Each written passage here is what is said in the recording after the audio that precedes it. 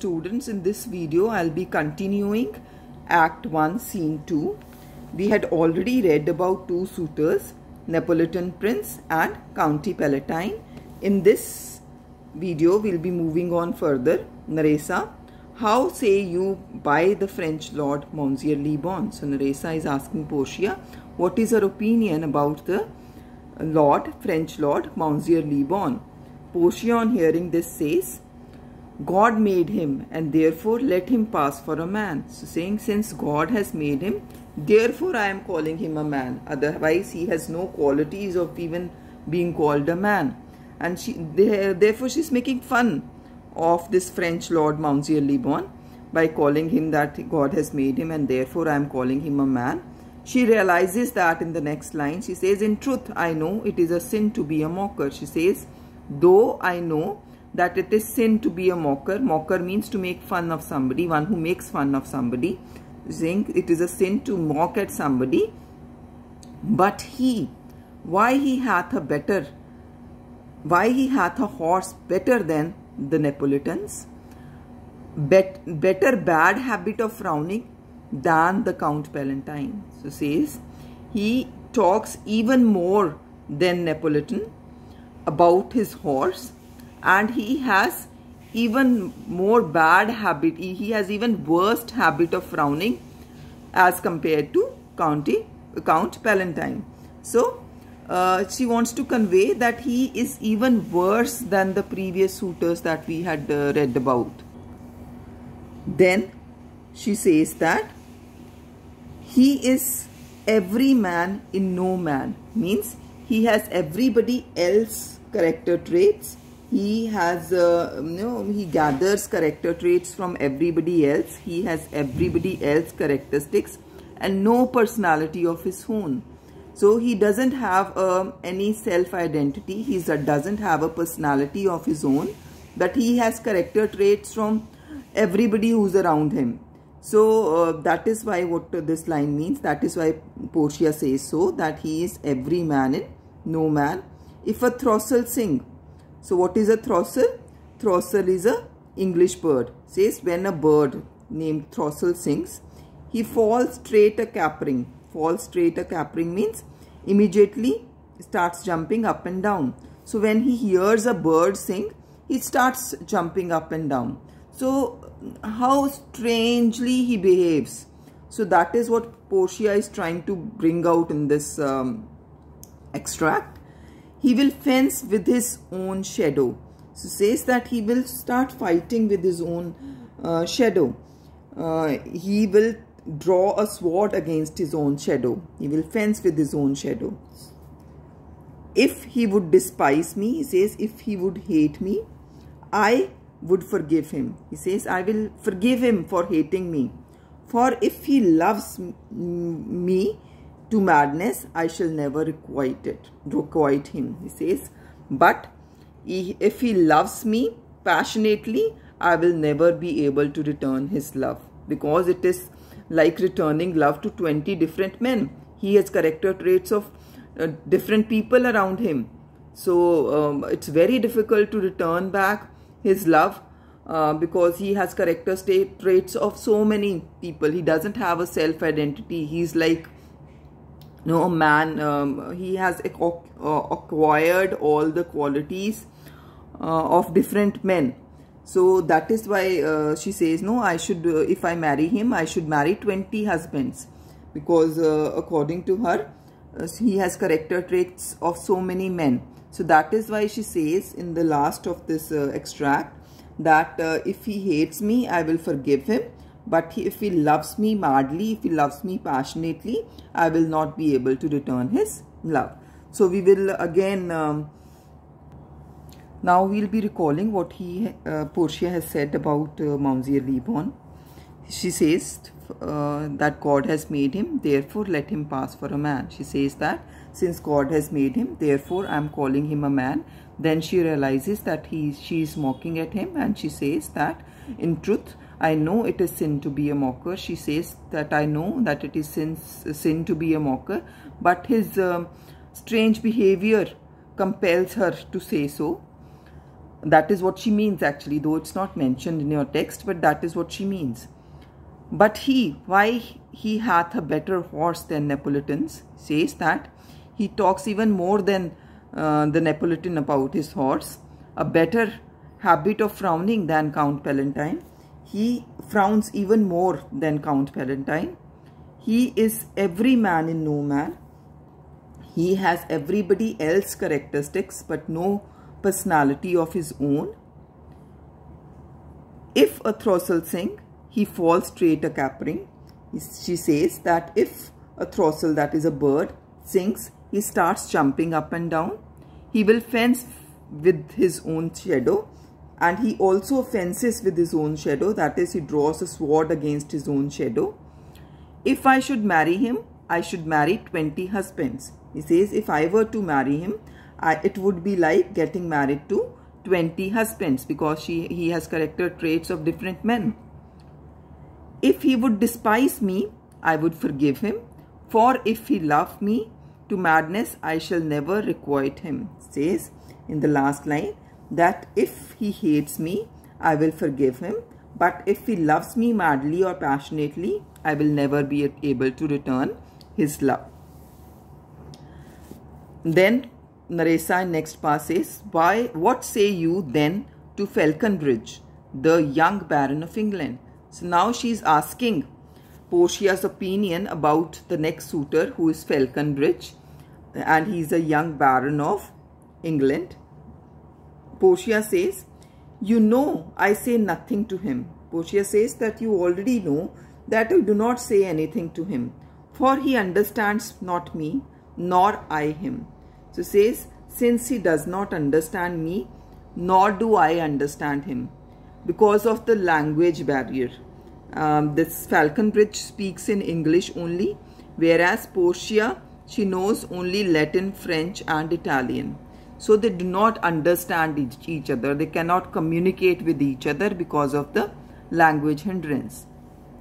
Says that, you know, I say nothing to him, for he understands not me nor I him. In first line, Portia says that you already know that I do not speak with him because neither he understands me nor I. He hath neither Latin, French nor Italian. She, she, she means that uh, this Falconbridge, he knows neither Latin, French nor Italian. So these are the languages that Portia knows. But this uh, Falconbridge, he doesn't know any of these language and you will come into the court and swear that I have poor pennyworth in English. She says that she has very little knowledge about English and um, this Falconbridge he talks in English only. So that is why both of them cannot communicate. He is a proper man's picture. She says though he is a perfect man, he looks like a perfect man. But alas, he says she is very sad who can converse with dumb show? Says, but that's of no use. Uh, since I cannot communicate with him. It's like dumb shows. They can, they just talk in gestures. इशारों में बातें करते हैं वो एक दूसरे से because they uh, do not understand each other's language. How oddly he is suited. Then she talks about how strangely he is dressed up. I think he bought his doublet in Italy. She says that I think he bought his doublet. What do you mean by doublet here? Doublet means jacket. He says that I think that he has bought his jacket in Italy. His round hose in France. Hose means trousers. He's, uh, Portia says as if he has brought his round hose in France. That is uh, his trouser in France. And bonnet. Bonnet means hat and she says as if he has bought his hat from Germany and his behavior from everywhere. So what? how does she comment on his um, how he's dressed up? She says she is dressed up very oddly or very strangely. She feels as if she has bought his doublet, his jacket from Italy, his trouser from France and his hat from Germany and his behavior from everywhere. I always tell my students to remember it uh, with the song so all of you might have heard a song, no, Mera Juta Hai Japani. No, the, so similarly, this character also has different um, strange um, no, suiting. So he uh, that is why what Portia has described here. So you could be asked a four mark question regarding how Portia comments upon how this falcon bridge is being suited. So he is very strangely suited according to Portia. She feels as if he has bought his jacket from Italy, his trouser from France and his hat from Germany and his behavior from everywhere. Moving on to next part, Nerissa, what to think you of Scottish Lord, his neighbor? Nerissa says, she asks Portia that what is her opinion about um, his neighbor, Scottish Lord. So they are called neighbors because their countries are neighboring countries. England and Scotland are uh, neighboring countries. That is why Nerissa calls him uh, his neighbor the Scottish Lord is neighbor of um, Falconbridge. Moving on to next page. In this page, Portia says that he hath a neighborly charity in him. He says, yes, he definitely has neighborly charity in him. She means that he definitely loves uh, this Falconbridge because he is his neighbor for he borrowed, says because he borrowed a box of ear of the Englishman. Box of ear me, here means blow on the ear. So he says since this uh, Englishman had hit him on his face and he would uh, he would pay him again when he was able. So he says that he would return back the borrowed blow, the borrowed box from uh, the Englishman. He said that he, he had sworn that he will return back whatever he has received from his neighbor in love. So what has he received? He has received a box of the year. Man means he has blow, uh, received a blow on his uh, face. And he has sworn that he will definitely return back that whenever he was able to do so. I think the French, Frenchman became his surety and sealed under for another she says that she feels, she thinks that um, the Scotsman, he, the, sorry, I think the Frenchman, Frenchman, she says, become the surety. He says that he has assured that he would definitely return back the box that he has borrowed. He will definitely return back the blow that he has borrowed from the Englishman and he also signed under a uh, underneath. So he is very, um, you know, humorously uh, telling the relation between the Scottish lord and the Englishman and how Frenchman intervened and uh, how he, uh, you know, uh, became a mediocre uh, middleman and he became a surety. And uh, he said that yes, definitely I assure that uh, this French lord would return back, sorry, this uh, Scottish lord would return back the blow borrowed from the Englishman and he also, she also says that he signed under. So this is not what actually might have happened. So this is uh, just um, uh, Portia is uh, mocking at uh, the suitors here. So the reference also we'll read that's given aside says that became his surety guaranteed that he would repay the debt. So what is debt in this case? That is the blow that he had on his face. Blow that the Scottish lord had on his face by the Englishman. Reference made to the constant assistant the French, uh, the French gave the Scots in their quarrels with Englishmen. So political situation is being brought about by Portia here because the French no there was um, a rivalry between the England and between English people and Scottish people at at that time. And uh, the French people they uh, provided resistance and they you know they mm, uh, they settled down all the quarrels which were there between the English and um, uh, this uh, Scottish people. So that is why she has mocked at the suitors like this. Nerissa, how like you the young German, the Duke of Saxony's nephew? Now Nerissa is asking Portia's opinion about a young German who is Duke of Saxony's nephew. So he is a drunkard and um, this is how Portia will describe him. Portia very vainly, vainly means badly, says very terrible in the morning when he is sober. Says in the morning he is sober, he is at his best. But she says he is at a terrible condition, he is in a terrible condition even when he is uh, sober. Then she says, but most vainly in the afternoon. She says he is still worse in the afternoon when he is drunk. Says in, by afternoon he drinks and uh, he is even worse than how he looked like in the morning.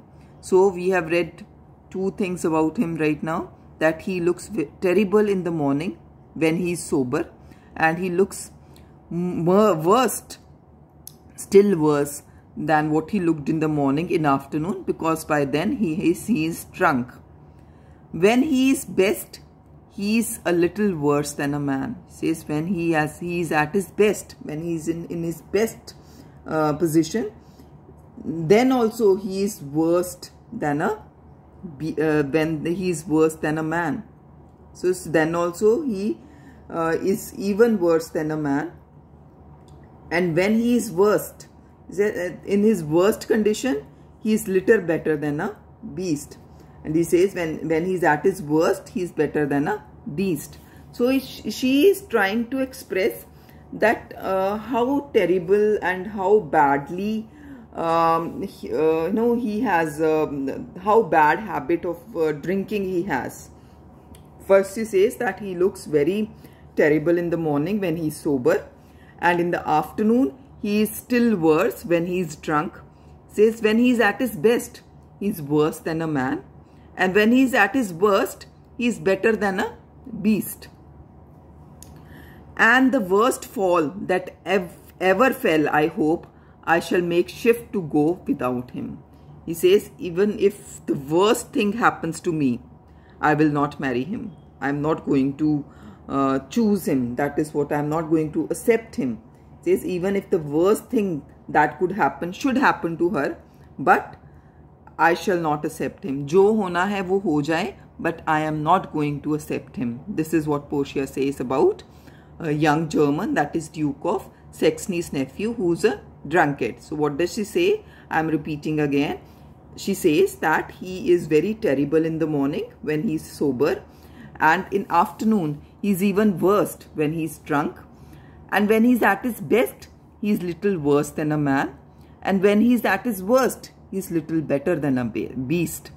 And in the last, she says that even if worst happens to her, she is not going to accept him. Right? So this is what she says in this uh, extract regarding this uh, young German. Moving on to next part. On hearing what Portia has said, Nerissa says, if he should offer to choose and choose the right casket, you should refuse to perform your father's will.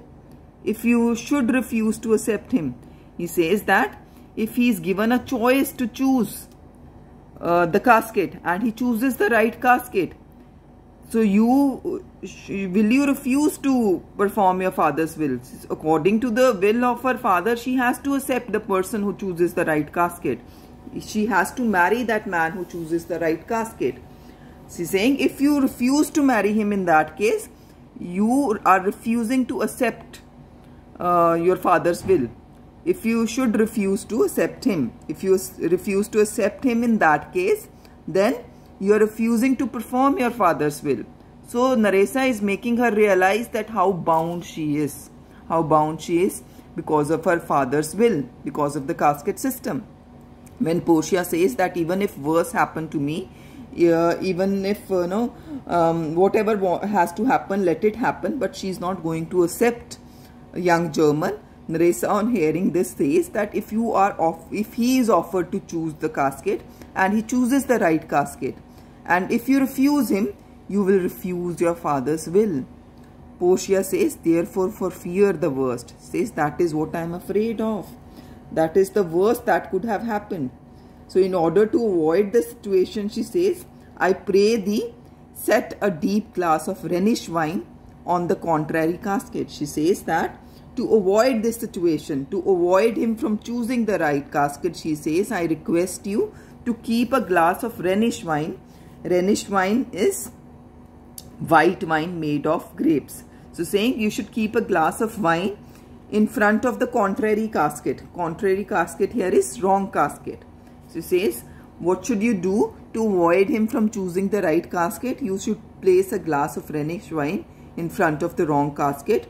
For if the devil be within and temptation without, says even if the devil is inside that casket, but temptation of um, this uh, wine is outside the casket because the glass of Rhenish wine is placed outside the casket, no? So he says even if the devil will be inside the casket, he will definitely choose that casket.